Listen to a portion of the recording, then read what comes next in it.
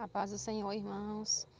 Então, tem só três dias que eu entrei aqui no grupo, mas é, me veio na mente aqui um sonho que Deus me deu em dezembro de 2019. Muito antes da, da conversa do Covid, né, dos primeiros casos.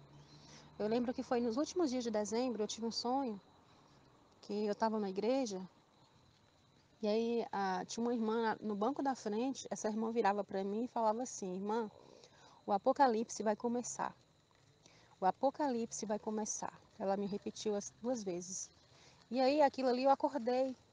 Na, assim, naquele impacto da, da, do que ela me falava, eu acordei. Irmãos, naquela mesma semana começou os primeiros casos do Covid lá na China. E daí então, né, irmão, os irmãos já sabem tudo o que aconteceu de lá para cá. Foram muitas coisas. E Deus tem falado, né? Deus tem falado, Deus está alertando o seu povo que já estamos sim vivendo o apocalipse na Terra. É, é ilusão das pessoas, né, ainda viver é, é, com ambição terrena, querendo conquistar bens, querendo duas, três formação.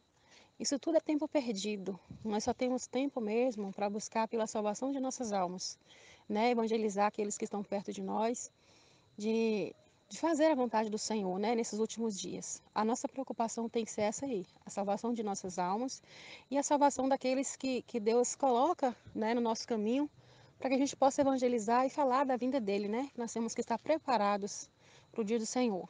Tá bom? Deus abençoe a todos.